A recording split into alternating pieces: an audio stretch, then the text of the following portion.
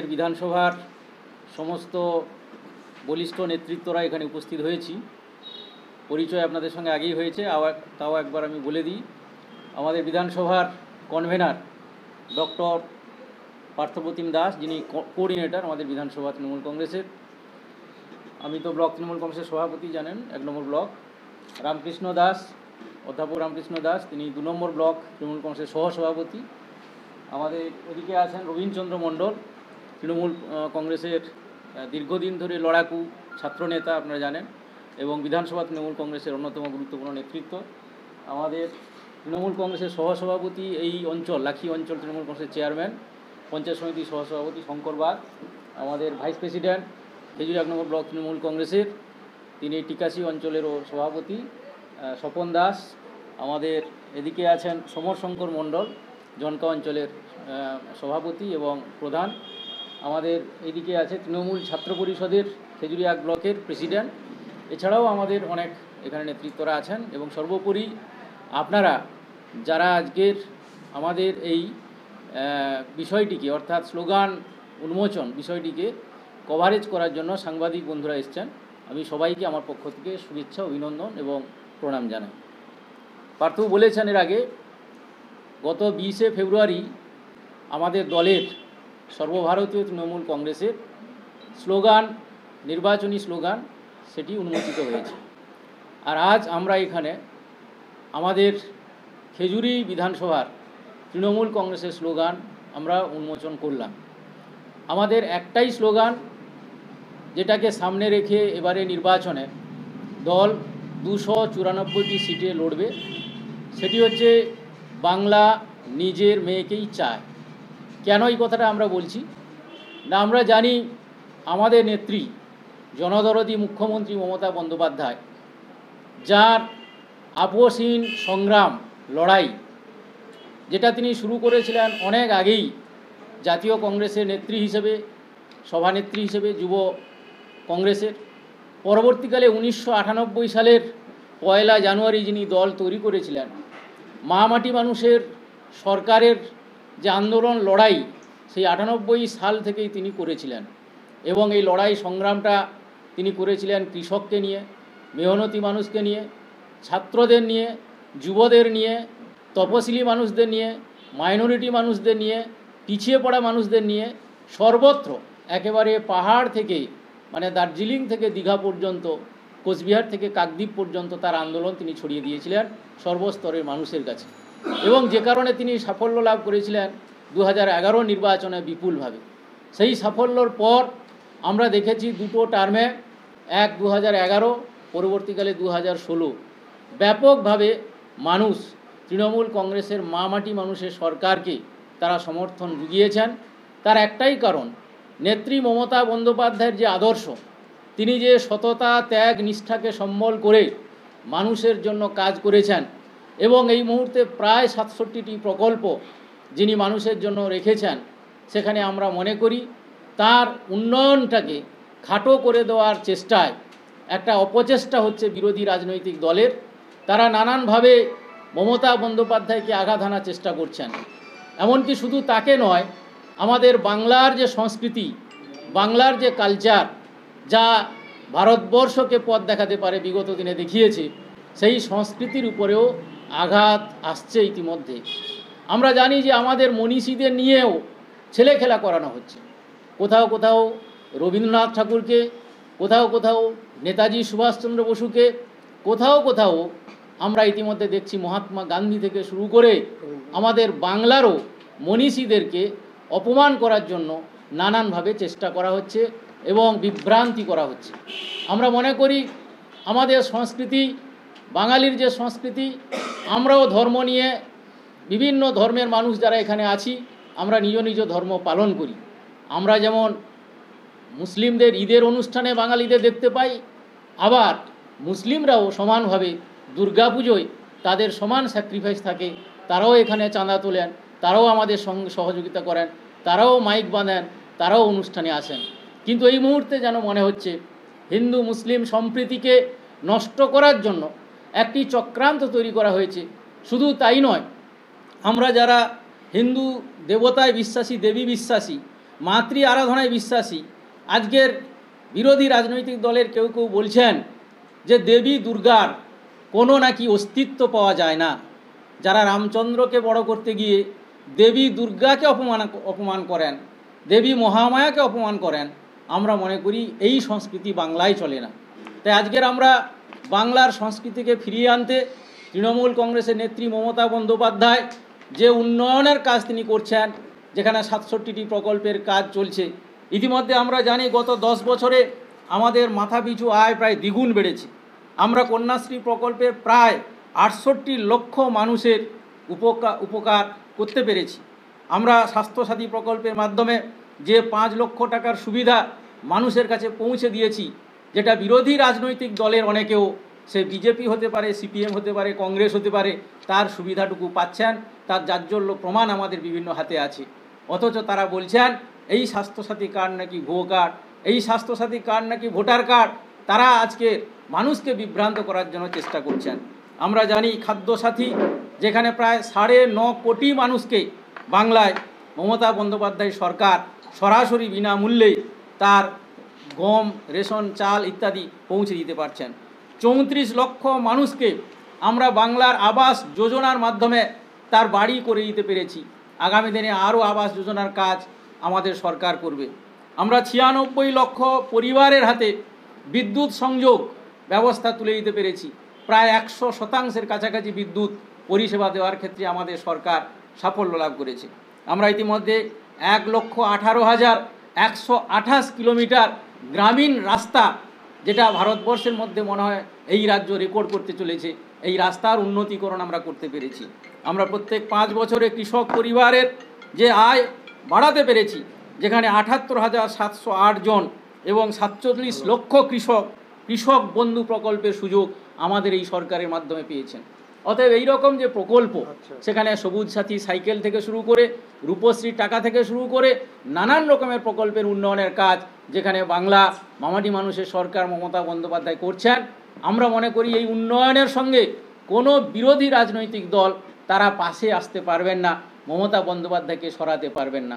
আজকে যে কারণে মায়েদের আর্থিক উন্নয়ন ঘটেছে এসএইচজি গ্রুপের যেভাবে কাজ শুরু হয়েছে, কর্মসংস্থান ফিরে পেয়েছেন, একশো দিনের কাজ ভারতবর্ষের মধ্যে সর্বোচ্চ জায়গায় আমাদের এই সরকার করতে পেরেছে। অতএব এইরকম একটি মহতি সরকারকে আগামী দিনে আমাদের রক্ষা করতে হবে, বাংলার সংস্কৃতিকে রক্ষা করতে হবে। বাংলার যে সংস্কৃতি আছে, মোরা একই বৃন্তে দুটি কুসুম, হিন্দু মুসলমান, হিন্দু তার নয়নমণি, মুসলিম তার প্রাণ। এই সংস্কৃতি নিয়ে আমরা বাঁচব, তাই আসুন আমরা সবাই মিলে আগামী নির্বাচনে মমতা বন্দ্যোপাধ্যায়, তৃণমূল কংগ্রেস, মামাটি মানুষের সরকার একসময় কৃষকদের জন্য লড়াই করেছেন। আজকের কৃষকরা দিল্লির রাজপথে যখন তারা নিরুপায় হচ্ছেন আন্দোলন করতে গিয়ে, তাদের উপর ট্রাক্টর চালিয়ে দেওয়া হচ্ছে। তাদের কৃষি আইন বাতিলের দাবিকে উপেক্ষা করা হচ্ছে। আমরা মনে করি, আগামী দিনে এই মানুষ, সাধারণ মানুষ, আজকে যেভাবে নাভিশ্বাস উঠেছে বিভিন্ন পণ্য মূল্য বৃদ্ধির জন্য, আজকে যেখানে গ্যাসের মূল্য দ্বিগুণ পরিমাণে বেড়ে গেছে, আজকে যেখানে আমরা দেখতে পাচ্ছি পেট্রোল, ডিজেলের মূল্য বৃদ্ধি ঘটছে, যার ফলে আগামী দিনে নাভিশ্বাস উঠবে বিভিন্ন পণ্যের ক্ষেত্রে, বিভিন্ন যানবাহনের ক্ষেত্রে সর্বত্র মূল্য বৃদ্ধি ঘটবে। আজকে তার বিরুদ্ধে আমাদের লড়াই করতে হবে। তাই আসুন, আপামর মানুষ, আমরা সকলে আর খেজুরি। এই খেজুরি এক সময় রক্তাক্ত ছিল, এই খেজুরিতে গণতন্ত্র ছিল না, এই খেজুরিতে স্বাধীনতা ছিল না, বাক স্বাধীনতা ছিল না, কথা বলার অধিকার ছিল না। আমরা এই সরকার আসার পর সেই অধিকারটুকু মানুষের কাছে ফিরিয়ে দিতে পেরেছি। তাই আগামী দিনে আমরা এই সরকারকে পাখির চোখের মতো রক্ষা করব, সকলের কাছে সেই আবেদন রাখব। বাংলার সংস্কৃতিকে আমরা ফিরিয়ে আনি, বাংলার ঐতিহ্যকে আমরা রক্ষা করি এবং তা রক্ষা করতে গেলে মমতা বন্দ্যোপাধ্যায়কে আমাদের আগামী দিনে নির্বাচিত করতে হবে, তৃণমূল কংগ্রেসকে নির্বাচিত করতে হবে, মামাটি মানুষের সরকারকে নির্বাচিত করতে হবে। তার জন্য সমস্ত সম- সম- সম্প্রদায়ের মানুষকে, সমস্ত পেশার মানুষকে, সমস্ত বুদ্ধিজীবী থেকে শুরু করে আমাদের চলচ্চিত্র জগতের উপরে যে আঘাত আসছে ইতিমধ্যে, সবাই আগামী দিনে একজোট বাঁধুন। এবং আমাদেরকে এই সরকারকে রক্ষা করুন। এই আহ্বান আজকে আমরা এই সাংবাদিক সম্মেলনের মাধ্যমে আপনাদের কাছে রাখতে চাই। আপনারা সকলে ভালো থাকবেন। সকলকে অভিনন্দন। নমস্কার। আমি পরের বক্তার কাছে যাওয়ার আগে বিমানদার রেস ধরে দুটো কথা জানিয়ে দিতে চাই। এক, কেন সর্বভারতীয় তৃণমূল কংগ্রেস তার বাংলার নিজের মেয়েকেই চায়? কেন বলছে? কারণ এই মুহূর্তে যারা নেতৃত্ব দিচ্ছে তৃণমূল কংগ্রেসের, তাদের মধ্যে একমাত্র মমতা ব্যানার্জি, যিনি সাতবারের এমপি, উনিশশো পঞ্চান্ন সালে যার জন্ম, এবং একেবারে পনেরো বছরেই তিনি প্রথম জাতীয় কংগ্রেসের সভ্যপদ নিয়েছিলেন এবং একুশ বছর বয়সে তিনি দক্ষিণ কলকাতা জাতীয় কংগ্রেসের তিনি সাধারণ সম্পাদক হয়েছিলেন এবং তার পরবর্তীকালে আপনাদের মনে আছে যে চুরাশি সালের লোকসভা নির্বাচনে। যাদবপুর থেকে তিনি তৎকালীন দিনের বামফ্রন্টের তাবর নেতৃত্ব সোমনাথ বাবুকে হারিয়ে তিনি জিতেছিলেন যাদবপুর থেকে। এবং পরবর্তীকালে উনিশশো একানব্বই সালে তিনি প্রথম কেন্দ্রীয় মন্ত্রী হন, হোম রিসোর্স বিভাগের। পরবর্তীকালে নিরানব্বই সালে তিনি মন্ত্রী হন কেন্দ্রীয় সরকারের। দু হাজার চারেও তিনি মন্ত্রী হন কেন্দ্রীয় সরকারের। এবং দু সালে তিনি সেকেন্ডবার আবার রেলের মন্ত্রী হন।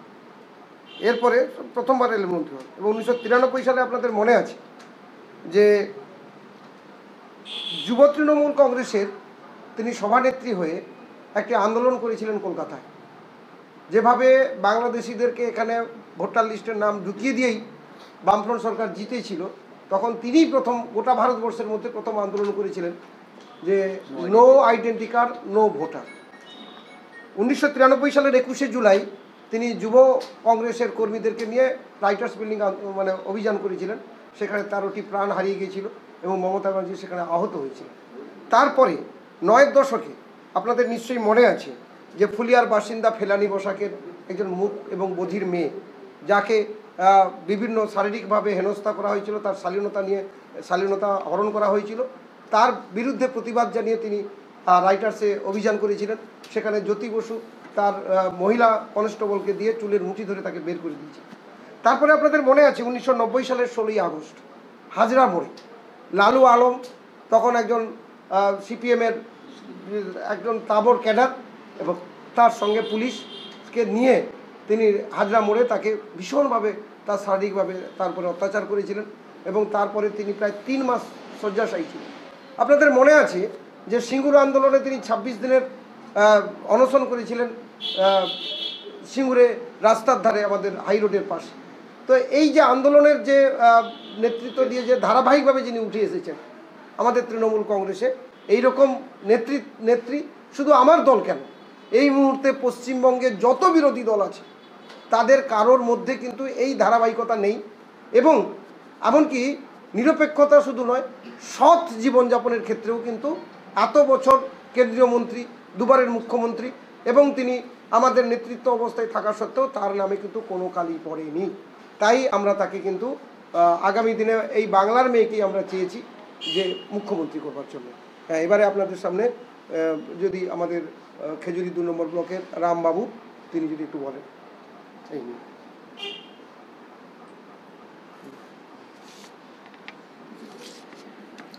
গত পরশু আমাদের আমাদের সর্বভারতীয় তৃণমূল কংগ্রেসের রাজ্য সভাপতি সম্মানীয় সুব্রত বক্সী মহাশয় একটি নির্বাচনী স্লোগান উদ্বোধন করেছেন। গতকাল আমাদের জেলা সভাপতি সম্মানীয় ডক্টর সোমেন কুমার মহাপাত্র মহাশয় উনি উদ্বোধন করেছেন আজকের আমাদের বিধানসভা কোঅর্ডিনেটর ডক্টর পার্থপ্রতিম দাস দাস সহ আমাদের সম্মানীয় খেজুরি এক ব্লকের ব্লক সভাপতি সম্মানীয় বিমান কুমার নায়ক মহাশয় উপস্থিত আছেন।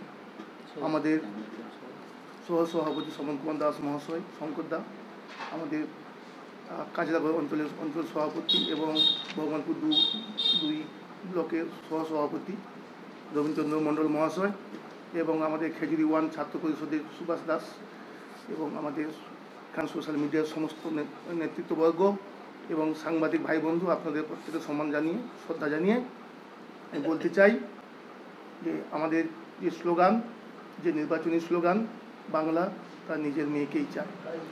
বাংলার সংস্কৃতি ও ঐতিহ্য রক্ষার জন্যে যাকে সব থেকে বেশি দরকার তিনি বাংলার নিজের মেয়ে। আসন্ন বিধানসভা নির্বাচন দেশের সংবিধান রক্ষার লড়াই এবং গোটা দেশ এই নির্বাচনের দিকে তাকিয়ে আছে। এই নির্বাচনে যিনি সামনে থেকে লড়াই নেতৃত্ব দেবেন তিনি আর কেউ নয়, বাংলার নিজের মেয়ে, মমতা বন্দ্যোপাধ্যায় মহাশয়া। বাংলা তার নিজের মেয়েকে চায়, এই স্লোগানের ভাবনা কি? এর পিছনে কেন এই স্লোগান আনা হলো?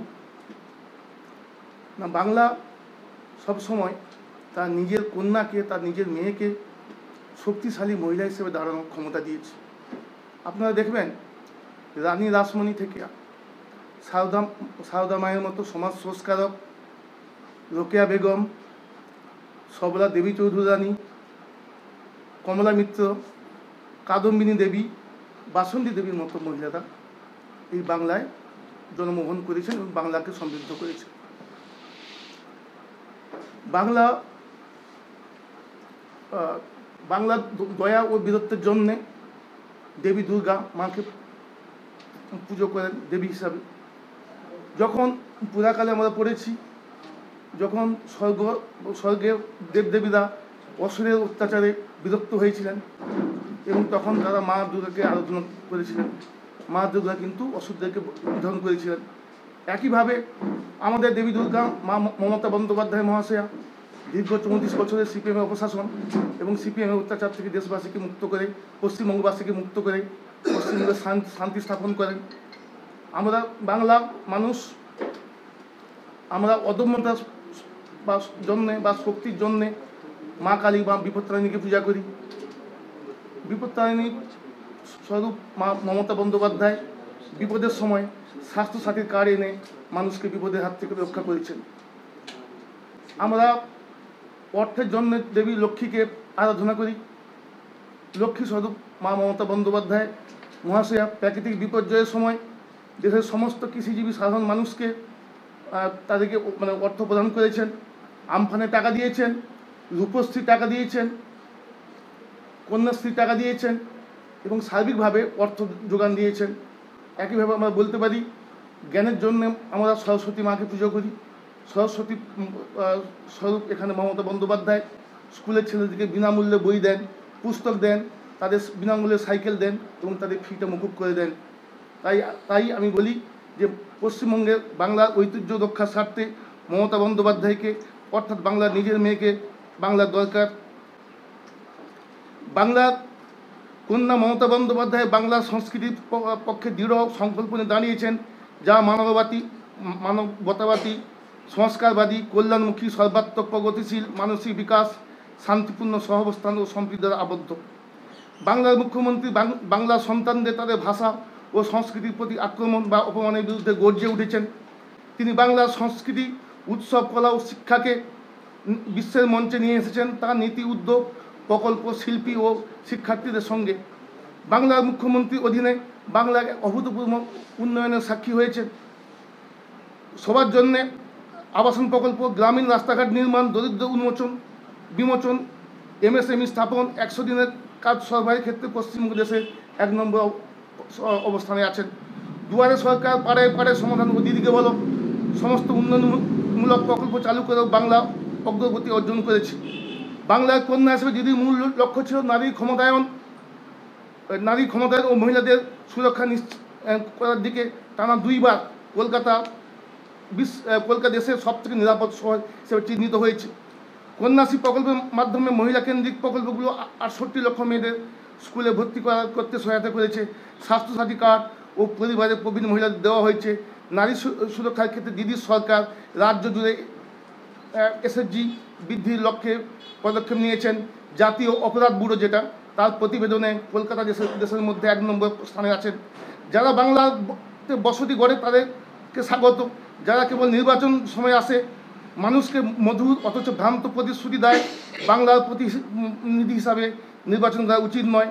যারা রাজ্যের ঐতিহ্য সম্বন্ধে কিছু জানে না যারা আমাদের বীর মহাপুরুষদের নাম ঠিকঠাকভাবে উচ্চারণ করতে পারে না, যারা মা দুর্গার অস্তিত্ব নিয়ে প্রশ্ন তুলে, তাদের অবমাননা করতে ছাড়েন না। রবীন্দ্রনাথ থেকে নেতাজি, কাউকে তারা ছাড়েননি।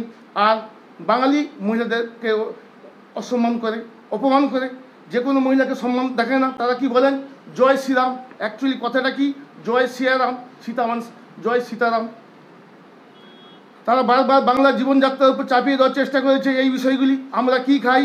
কি পড়ি কার উপাসনা করি, কাকে আমরা ভালোবাসি? তাই অনুসরণ করে আমরা জীবন যাপন করি। তারা বহিরাগত, তারা এখানে থাকবে না। তারা ফাইভ স্টার হোটেল খাবার নিয়ে মিনারেল বটল ওয়াটার নিয়ে, তারা তফসিলি ভাই বন্ধুদের বাড়িতে খাওয়া দাওয়া করে। আপনারা প্রত্যেকেই জানেন যে যে সমস্ত বহিরাগতরা এখানে এসে তফসিলি বাড়িতে খাওয়া দাওয়া করে, যে সমস্ত রাজ্যে বিজেপি সরকার আছে, সেখানে তফসিলি মহিলাদের অত্যাচার হয়। সেখানে লাভ ঝেড়ে নামে মানুষকে শুধু তৃণমূল কংগ্রেস নয় সিপিআইএম পার্টি এবং কংগ্রেসের লিডারদের বিরুদ্ধে লেলিয়ে দেওয়া হয়েছিল। এবং তখন সিদ্ধার্থনাথ বলে আমাদের একজন বিজেপির অবজারভার ছিলেন। তিনি প্রথম বলেছিলেন, ভাগ মুকুল ভাগ ভাগ মদন ভাগ। বলেছিলেন তিনি। পরবর্তীকালে দেখা গেছে যে বিজেপির গোয়াল ঘরে কিন্তু সেই মুকুলই ঢুকেছে ভয়ে। মদনলা, মদনবাবু কিন্তু জেল খেটে হলেও মাথা উঁচু করে এখনও দল করছে। লাভ কি হয়েছিল? পশ্চিমবঙ্গে চৌত্রিশটা সিট পেয়েছিল তৃণমূল কংগ্রেস লোকসভাতে। পরে বিধানসভা নির্বাচন এসছে ষোলো সাল। আপনারা দেখেছেন তার আগে, ঠিক ভোটের আগে তারা নারদার স্ক্যাম বের করেছিল বাজারে। সেখানে আমাদের বহু নেতাকে দেখেছেন আপনারা, নারদার কেলেঙ্কারিতে টাকা নিতে বিভিন্নভাবে দেখিয়েছে। কিন্তু সিবিআই এখনও পর্যন্ত প্রমাণ করতে পারেনি ওই সমস্ত নেতাদের। এখানে সারদার, নারদা বিভিন্ন কেলেঙ্কারি প্রত্যেকটা ভোটের আগে আবার দেখুন, গত পরশু দিন থেকে শুরু করেছে, কালকেও ঘটেছে। আবার এবছরও ঠিক লোকসভার নির্বাচন, বিধানসভা নির্বাচনের আগে আবার সিবিআই আমাদের তৃণমূল কংগ্রেসের নেতৃত্বদের বাড়িতে হানা দিচ্ছে। আবারও আমরা, আমাদের বিশ্বাস আছে যে এই জায়গাগুলোতে যাদেরকে কখনো দোষী সাব্যস্ত করা যায়নি, তাদের মধ্যে অন্যতম হচ্ছে মমতা ব্যানার্জি। কখনো সিবিআই মমতা ব্যানার্জিকে নিয়ে কোনোদিন কোনো প্রশ্ন করেনি, বরং অনেক নেতৃত্বকে নিয়ে তার প্রশ্ন আছে। সে কারণেই বাংলা কিন্তু তার মেয়েকেই চায়, অর্থাৎ মমতা ব্যানার্জিকেই চায়, যিনি একেবারে সমস্ত স্ক্যামের ঊর্ধ্বে থেকে সমস্ত পার্সোনালিটির উপরে থেকে তিনি সাধারণ মানুষকে নিয়ে তার সরকার চালাতে চায় তাই তাকেই করা হয়েছে এবার আমি বলব রবীন্দ্রবাবুকে একটু বলার জন্য যদি আপনাদের কিছু জিজ্ঞাসা থাকলে করুন। আমাদের রাজ্যের সভাপতি সম্মানের সুব্রত বক্সী মহাশয় আমাদের দলের একুশের যে নির্বাচন আছে সেই নির্বাচনে আমাদের প্রচারে একটি স্লোগান লঞ্চ করেছেন বাংলা নিজের মেয়েকেই চায় সেই উপলক্ষে আমরা আজকে খেজুরি বিধানসভা কমিটির পক্ষ থেকে আমরা এখানে উপস্থিত হয়েছি। আমাদের সামনে আছেন আমাদের পার্থবাবু, ডক্টর পার্থপ্রতিম দাস। আমাদের বিধানসভা কমিটির কোঅর্ডিনেটর আমাদের বিমান নায়ক আছেন খেজুরি এক নম্বর ব্লক তৃণমূল কংগ্রেসের সম্মানিত সভাপতি। আমাদের রামকৃষ্ণবাবু আছেন খেজুরি দুই নম্বর ব্লকের সহ সভাপতি তৃণমূল কংগ্রেসের। রবীন্দ্রবাবু আছেন কাজলাপাড়ি অঞ্চল সভাপতি এবং ভবনপুরের সহ সভাপতি আমাদের বাগবাবু আছেন শঙ্করবাবু আছেন স্বপনদা আছেন সুভাষ আছেন। সবাইকেই শুভঙ্কর বা যুব শক্তি আছে। যুবশক্তির শুভঙ্কর আর আমাদের আরেক নেতৃত্ব এসছেন তাপস দা এসছেন। তাপসবাবু এসছেন। লাঠির হচ্ছে সভাপতি। লাকির সভাপতি তাপসবাবু এসছেন। সবাইকে আন্তরিক শুভেচ্ছা অভিনন্দন নমস্কার জানাই এবং আপনাদেরকেও সঙ্গে সঙ্গে কৃতজ্ঞতা জানাই ধন্যবাদ জানাই।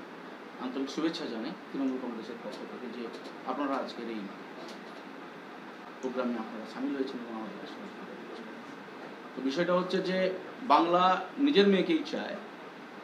এই যে স্লোগান, এই স্লোগানটা আসলে আমাদের একদম পর্বত থেকে, পাহাড় থেকে একদম বঙ্গোপসাগর পর্যন্ত প্রত্যেকটি মানুষের মনের কথা, অন্তরের কথা, হৃদয়ের কথা একদম গভীর মনের যে কথাটা, সেটা হচ্ছে বাংলা, বাংলার মুখ্যমন্ত্রী একুশে নির্বাচন, এই নির্বাচনে একটাই মুখ, যিনি সৃষ্টি, যিনি কৃষ্টি, যিনি সংস্কৃতি এবং বাংলা সাম্প্রদায়িক সম্প্রীতি রক্ষার্থে চির ব্যবস্থা নিয়েছেন এবং বাংলার যে সাতষট্টিটি প্রকল্পের মধ্য দিয়ে মুখ্যমন্ত্রী হিসাবে গোটা রাজ্যে নয়, গোটা ভারতবর্ষে পৃথিবীতে যিনি ধন্য হয়েছেন, তিনি বাংলার মুখ্যমন্ত্রী মমতা বন্দ্যোপাধ্যায়। মানুষের জনগণের যে মনের কথা, যে বাংলাতে মুখ্যমন্ত্রী হিসাবে একজনকেই চায়, সেটা হচ্ছে মমতা বন্দ্যোপাধ্যায়। এবং সেই জন্যই মানুষের মনের কথাটাকে বুঝতে পেরে তৃণমূল কংগ্রেসের পক্ষ থেকে স্লোগান রেডি করা হয়েছে, স্লোগান দেওয়া হচ্ছে যে বাংলা নিজের মেয়েকেই চায়, বাংলা অন্য কাউকে চায় না, অন্য সংস্কৃতিতে বিশ্বাস করে না। অন্য রাজ্যে, অন্য ভিন্ন ধর্মীদেরকে বিশ্বাস করে না এবং বাংলার মুখ্যমন্ত্রী মমতা বন্দ্যোপাধ্যায় তার বিশ্বাসযোগ্যতা, তার ন্যায় নিষ্ঠা এবং তার সততা, যে যে আন্দোলন তিনি দীর্ঘ দিন ধরে চালিয়ে নিয়ে আসছেন, তার উপরে মানুষের বিশ্বাস আছে, আস্থা আছে, ভরসা আছে। তাই আমাদের দলের পক্ষ থেকে এই স্লোগান যে বাংলা নিজের মেয়েকেই চায়, পাহাড় থেকে জঙ্গল জঙ্গল থেকে সমুদ্র, সমস্ত জায়গার মানুষ একটাই স্লোগান, বাংলা নিজের মেয়েকেই চায়। একুশ সালের নির্বাচনে মমতা বন্দ্যোপাধ্যায়কে মুখ্যমন্ত্রী হিসেবে এরপরে আমরা যখন আলোচনায় আসব, তার আগে আরেকটি কথা আপনাদের মনে করিয়ে দিই। ছয়ের দশক। ট্রাম ভাড়া দু পয়সা বৃদ্ধির জন্য আন্দোলন হয়েছিল গোটা পশ্চিমবঙ্গ জুড়ে বামফ্রন্ট তখন বিরোধী দল। কত ট্রাম পড়েছিল, কত মানুষের ক্ষতি হয়েছিল আপনারা জানেন। পরবর্তীকালে দু পয়সা ট্রামের ভাড়া বিরত হয়েছিল কিন্তু এই মুহূর্তে যে যে চৌষট্টিটি প্রকল্প পশ্চিমবঙ্গে চলছে মামাটি মানুষের সরকারের দশ বছরে, তার কোনো একটা প্রকল্পের জন্য পশ্চিমবঙ্গের কোনো মানুষকেই কিন্তু আন্দোলন করতে হয়নি। মমতা ব্যানার্জি মা হিসাবে, মেয়ে হিসাবে, গোটা পশ্চিমবঙ্গের সাড়ে দশ কোটি মানুষের তিনি অভাব, অভিযোগ, তাদের অনুভূতি তার সঙ্গে মিশে গিয়ে বুঝতে পেরেছিলেন বলে এগুলো তিনি প্রকল্পগুলো নিজের মস্তিষ্ক প্রসূত এনেছিলেন। একটা গল্প বলি আপনাদের। একদিন তিনি পশ্চিম মেদিনীপুর থেকে বাঁকুড়া যাচ্ছেন। মাঝের রাস্তা শালবনির জঙ্গল। বর্ষা হচ্ছে। সেখান দিয়ে তার গাড়ি যেতে যেতে দেখছিলেন একটি বাচ্চা ছেলে জলের উপরে খেলা করতে করতে যাচ্ছে। তার বই তাকে বর্ষার হাত থেকে রক্ষা করার জন্য বুকে জামার ভিতরে লুকিয়ে নিয়ে যাচ্ছে। তার তখনই মনে হয়েছিল যে এই বাচ্চাটির বই কিনে দেওয়া, তাকে ছাতা কিনে দেওয়া, তার বুট কিনে দেওয়া তাকে ঠিকমতো স্কুলে যাওয়ার যে উৎ- উৎসাহ দেওয়া, অনুপ্রেরণা দেওয়া, সেটা আমাকে করতে হবে। সেখান থেকেই বসে তিনি তৎকালীন যিনি চিফ সেক্রেটারি ছিলেন, তাকে ফোন করে কিন্তু ব্যবস্থা নিয়েছিলেন বলেই আজকের আমাদের বাচ্চা প্রাইমারি স্কুলের বাচ্চাদের জুতা, ছাতা কিংবা তাদের বইপত্র, তাদের ব্যাগ এবং পরবর্তীকালে মিড ডে মিলের খাবার তারা খাচ্ছে। তাই আমার মনে হয় যে পশ্চিমবঙ্গে যদি কোনো নেত্রী বা কোনো নেতা পশ্চিমবঙ্গকে আগামী দিনে গোটা ভারতবর্ষের মুখে সবার সেরা জায়গায় পৌঁছতে পারে সে একমাত্র মমতা ব্যানার্জি পারে। তাই আমরা স্লোগান দিয়েছি তৃণমূল কংগ্রেসের পক্ষ থেকে। মমতা ব্যানার্জিকেই আমাদের আনতে হবে তৃতীয়বারের জন্য মুখ্যমন্ত্রী হিসাবে এবং সে কারণেই বাংলার মেয়েকেই আমরা চাই। বাংলার মেয়েকেই আমাদের দরকার। এবারে যদি আপনারা বলুন যদি কোনো কোশ্চেন থাকে আমাদের নেতৃত্বরা নিশ্চয়ই আপনাদের সঙ্গে। কঠিন হবে আপনাদের লড়াইটা। দেখুন বিধানসভা নির্বাচনের প্রাককালে সর্ব একটি দলের যাবতীয় কাজকর্ম বলি, সেই দলের যদি বিধায়ক থাকে, তাকে কেন্দ্র করে কিন্তু তৈরি হয়ে আসছে, আমরা এটা দেখে আসছি। কিন্তু গত চব্বিশে নভেম্বর আমাদের একটি অনুষ্ঠান হয়েছিল। সেই অনুষ্ঠানের পর থেকে আমাদের বিধায়ককে সর্বভারতীয় তৃণমূল কংগ্রেসের কোনো প্রোগ্রামে আমরা দেখতে পাইনি। তিনি নিজে থেকে যেমন কোনো প্রোগ্রাম করছেন না, আমাদের স্টেট লেভেল কিংবা জেলা লেভেল কোনো প্রোগ্রামে তিনি উপস্থিত থাকছেন না। সে কারণেই জেলা তৃণমূল কংগ্রেসের পক্ষ থেকে আমাদের একটি আলাদা একটি অ্যাসেম্বলি কোঅর্ডিনেটর করে দিয়ে আমাদের কাজ করতে বলা হয়েছে। সেই কাজ করতে গিয়ে দেখছি সত্যি তার অনুপস্থিতি আমাদের কোথাও কোথাও কাজের ক্ষেত্রে, কারণ তিনি নেতা যাই হোক না কেন তাকে নিয়ে তো করতে হতো, তাকে পাওয়া যাচ্ছে না। কিন্তু একটা জিনিস, তার অবর্তমানে আমাদের দলের কাজ কিন্তু বেশি গুণ উৎসাহের সঙ্গে বেড়েছে। কারণ তিনি এমন কিছু কাজ করেছিলেন খেজুরিতে আমাদের বিধায়ক থাকাকালীন। তো তাতে করে খেজুরির বেশ কিছু মানুষ তার প্রতি ক্ষুব্ধ ছিল এবং তার অবর্তমানে সেই ক্ষোভটাকে আমরা প্রশমন করতে পেরেছি এবং খেজুরির সর্বভারতীয় তৃণমূল কংগ্রেসের মধ্যে নিজস্ব যে একটি বিভক্ত ছিল আমরা বিভিন্নভাবে, সেটা আমরা রুখতে পেরেছি এবং আমরা একাত্মভাবে বিধানসভা কমিটির মানে নির্দেশে এবং তাকে সামনে রেখে খেজুরির আপামর তৃণমূল কংগ্রেস কর্মী বিধানসভা নির্বাচনে এগোচ্ছে। ফলে তার অভাবটা আমাদের কোনোভাবেই অনুভূত এখন আর হচ্ছে না আর আগামী দিনও হবে বলে মনে হয় না। সামনেই বিধানসভা নির্বাচন কতটা প্রস্তুত তৃণমূল কংগ্রেস? পার্থর কথার সঙ্গে আরেকটা আমি যোগ করে দিই। যে উনিশশো আটানব্বই সালে পয়লা জানুয়ারি যখন নেত্রী দলটা তৈরি করেন তিনি প্রথম গুরুত্ব দিয়েছিলেন যে নেতা নয় গ্রাসরুটের মানে একেবারে মাটির লেভেলে যে সমস্ত কর্মী আছে তাদেরকেই গুরুত্ব দেওয়া, যে কারণে দলের নামটা তিনি করেছিলেন তৃণমূল। তো আমরা মনে করি আমাদের দলে বহু নেতা মমতা বন্দ্যোপাধ্যায় তৈরি করেছেন। কেউ আছেন, কেউ গেছেন। কিন্তু উনার আদর্শ, উনার নীতি, উনার সততাকে যারা সম্বল করে নিচের লেভেলে আছেন, অর্থাৎ সাধারণ কর্মী, সাধারণ কর্মীদের কিন্তু মনোবল অটুট আছে, অক্ষুণ্ণ আছে। তারা কখনো মমতা বন্দ্যোপাধ্যায়ের উন্নয়নের যে কাজ দেখেছেন, সেই জায়গা থেকে মমতা বন্দ্যোপাধ্যায়ের কাছ থেকে মুখ এখনও ফিরিয়ে নেননি। তার প্রমাণ আমরা সভা সমিতিগুলোতে পাচ্ছি। আমরা কোনো জায়গায় কর্মী সভার ডাক দিলে সেখানে জনসভার মতো রূপ নিচ্ছে। আমরা কোথাও হয়তো আমাদের শুধুমাত্র অ্যাক্টিভ কর্মীদের ডাকছি, সেখানে দেখা যাচ্ছে বুথ লেভেলে প্রচুর মানুষজন এসে যাচ্ছে।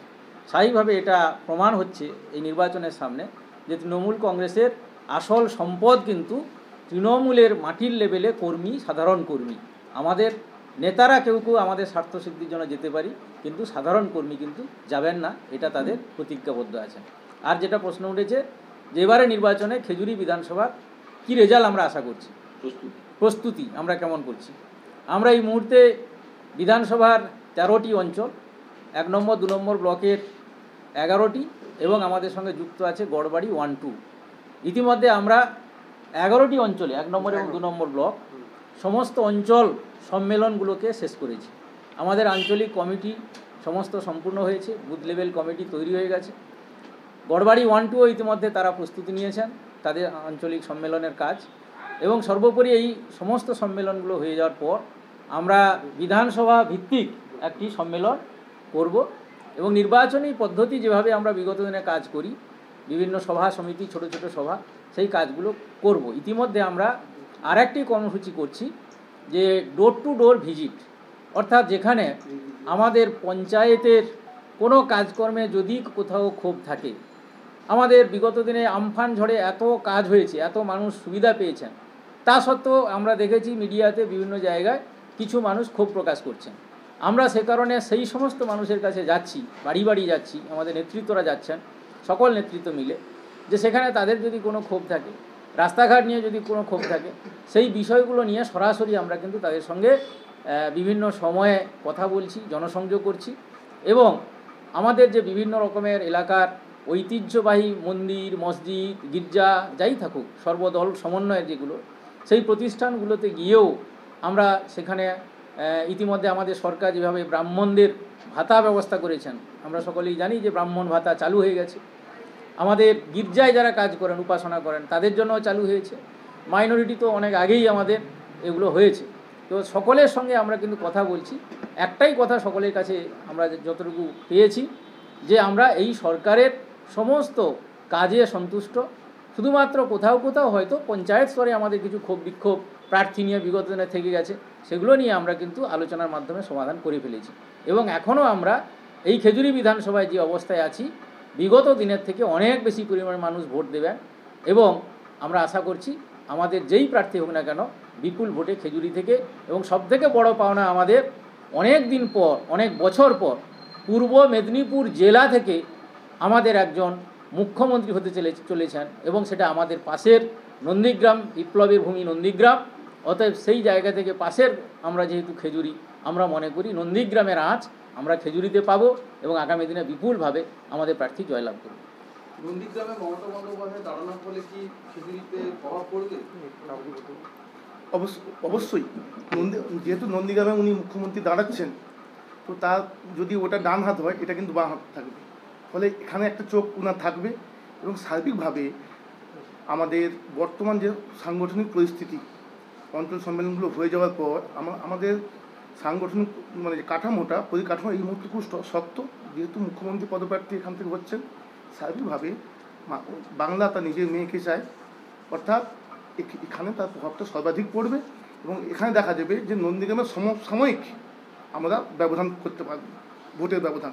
আরেকটা প্রশ্ন হচ্ছে গত দু হাজার ষোলো বিধানসভা নির্বাচনে পশ্চিমবঙ্গে যে লোকসভার নিরিখে যে ভোটটা হয়েছে আপনারা জানেন বামফ্রন্টের বিপুল সংখ্যক একটা, বিপুল পার্সেন্টেজ একটা ভোট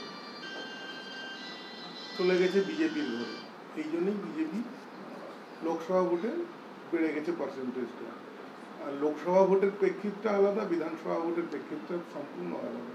ওনারা পাশের রাজ্য উড়িষ্যায়ও দেখতে পেয়েছেন যে লোকসভার প্রেক্ষিতে বিজেপির এমপিরা জয়ী হয়েছেন।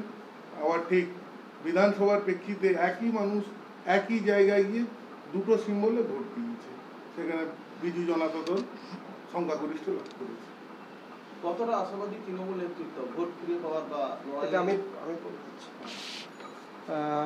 আপনাদের একটি কথা মনে করিয়ে দিই। দাদা এটা এটার সাথে মানে রিলেটেড প্রশ্নটা করে নিই। মানে নন্দীগ্রামে কিন্তু মানে বহিরাগত প্রার্থী। খেজুরিতে প্রার্থী কি ভূমিপুত্র হবে না কি বহিরাগত হবে? এই দেখুন আমি দুটো প্রশ্নেরই উত্তর আপনাদের দিচ্ছি।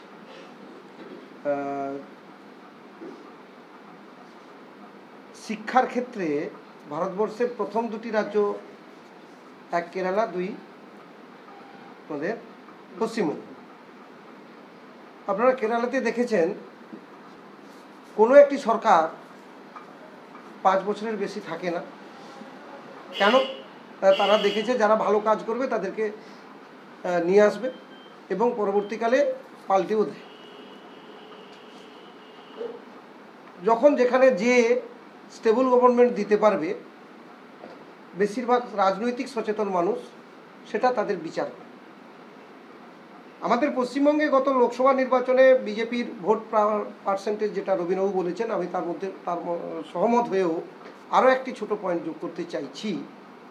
লোকসভা নির্বাচনে কিন্তু আমরা দেখেছি একটি স্টেবল গভর্নমেন্ট আপনারা জানেন, এর আগে অটল বিহারী বাজপেয়ীর সময় একটি স্টেবল গভর্নমেন্ট হয়নি বলে তেরো দিনের সরকার ছিল। সেখানে কিন্তু কয়েক লক্ষ কোটি টাকা আমাদের ভারতবর্ষের কস মানে খরচ হয়েছিল। কিছু টাকা তার ব্ল্যাক মানি হলেও বেশ কিছু সরকারিভাবে তো খরচ হয়েছিল, যে টাকাটা সরাসরি আমাদের ট্যাক্সের টাকা সেখানে কিন্তু মানুষ, পশ্চিমবঙ্গের মানুষ বুঝেছিল যে স্টেবল গভর্নমেন্টের জন্য ভোট দিতে হবে। সেখানে তৃণমূল করলেও বহু তাদের নিজেদের কর্মী যারা তারা রাজনৈতিক সচেতনতা যাদের মধ্যে আছে, তারা কিন্তু বিজেপিকে ভোটটা দিয়েছিল। কারণ নরেন্দ্র মোদীর আশেপাশে আর কোনো নেতাকে দেখা যায়নি স্টেবল গভর্নমেন্ট দেওয়ার আশ্বাস দিয়েছেন ভারতবর্ষ। এটা হচ্ছে দ্বিতীয় পয়েন্ট এটা কিন্তু ছোট পয়েন্ট বড় পয়েন্ট যেটা বাম থেকে রামে চলে গেছে, এটাই আমাদের মূল কারণ হয়েছে। সতেরো হাজার থেকে চুরানব্বই হাজারে পৌঁছে যাওয়া কিন্তু তারপরেও আমাদের তৃণমূল কংগ্রেসের ভোট কিন্তু কমেনি, আপনারা দেখেছেন নিশ্চয়ই। আমাদের তৃণমূল কংগ্রেসে লোকসভাতে যে বিধানসভাতে যে ভোট ছিল, লোকসভাতে সেরকমই পার্সেন্টেজ আছে, হয়তো এক মানে তিন হাজার না দু হাজার আমাদের বরং বৃদ্ধি হয়েছে। তো সেক্ষেত্রে আমাদের যে নতুন ভোটাররা এসছে সে কারণে আমাদের যতটা বাড়ার কথা ছিল বাড়েনি, এই একটাই কারণে বেশ কিছু রাজনৈতিক সচেতন মানুষ তারা ভোট দিয়েছে। কিন্তু বিধানসভাতে ওই একই কোশ্চেন যদি আমি মনে করিয়ে দিতে চাই যে স্টেবল গভর্নমেন্টের জন্য কিন্তু মমতা ব্যানার্জিকেই মানুষ ভোট দেবে। কেন? না মমতা ব্যানার্জির ধারে পাশে আর কেউ নেই। আপনারা বিভিন্ন বৈদ্যুতিন মিডিয়া যারা তারাও কিন্তু বারবার ধরে আজকে কয়েকটা খেপে খেপে আপনারা বিভিন্ন পর্যায়ে আপনারা প্রকাশ করেছেন। সারণী প্রকাশ করেছেন আপনারা সম্ভাব্য মুখ্যমন্ত্রী হিসাবে কাকে চাইছে মানুষ প্রকাশ করেছেন সম্ভাব্য কারা কত সিট পেতে পারে আপনারা জেনেছেন। সেখানেও কিন্তু তৃণমূলের ধারে পাশে কেউ নেই। সেই কারণেই তৃণমূল কংগ্রেসকেই মানুষ ভোট দেবে। কারণ তাদের সামনে জ্বলন্ত উদাহরণ দিল্লি। উনিশ সালে লোকসভা নির্বাচন হয়েছিল। সাতটা সিট দিল্লির কিন্তু ওই ছাপ্পান্ন ইঞ্চি ছাতি মোদির কথাতেই মানুষ ওই স্টেবল গভর্নমেন্টের জন্য ভোট দিয়েছিল। কিন্তু কুড়ি সালের বিধানসভা, এক বছর তো মাত্র। সেখানে তো এমন কিছু বিজেপি খারাপ কাজ করেনি।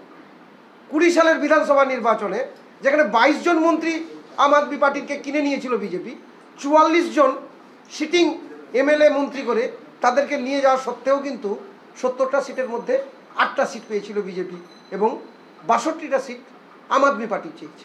ফলে মানুষ যত দিন যাচ্ছে, তত কিন্তু রাজনৈতিক সচেতনতা বাড়ছে পশ্চিমবঙ্গে। শুধু ভারতবর্ষে নয়, পশ্চিমবঙ্গেও বাড়ছে। তাই আমার মনে হয় যে এই যে বিজেপির ভোটটা বেড়েছে এটা স্টেবিল গভর্নমেন্টের জন্য কিছুটা দায়ী। আর সবচেয়ে বেশি দায়ী সিপিআইএম পার্টির যারা ক্যাডার, তারা সিপিআইএম থেকে তৃণমূলের মধ্য সঙ্গে পেরে উঠছে না বলে বিজেপির মধ্য দিয়ে তারা একটা আত্মপ্রকাশ করতে চেয়েছিল। এই দুটি কারণের জন্য আর এই বিধানসভা নির্বাচনে বিজেপি আমার মনে হয় পশ্চিমবঙ্গে একেবারে কোনো ভালো রেজাল্ট করতে পারবে না। সেই সতেরো হাজার আঠেরো হাজার যা ভোটটা ওরা পেয়েছিল গত বিধানসভা নির্বাচনে তার আশেপাশেই পাবে আমরা আশা করছি। বিধানসভাতে দেখা যাচ্ছে অনেক আর সরি আরেকটি কোশ্চেন এই যে আমার দিদি বহিরাগত প্রার্থী হিসাবে নন্দীগ্রামে প্রার্থী হয়েছে। আমাদের কাছে, সকলের কাছে ধরেছে, বলেছেন মানে আমাদের রাজ্য সভাপতির কাছে তিনি আবদার করেছিলেন যে আমাকে প্রার্থীর জন্য আমার নামটাও রাখা হোক। তো সেখান থেকে আমাদের রাজ্য সভাপতি তাকে অ্যাপ্রুভও করেছে। আমার বিধানসভাতে কোনো বহিরাগত কি ভূমিপুত্র, এরকম কোনো প্রশ্ন নেই। তৃণমূল প্রতীকে যে প্রার্থী হবে মমতা ব্যানার্জির, সেই প্রার্থীকে খেজুরির একেবারে দুশো তিপ্পান্নটা বুথে।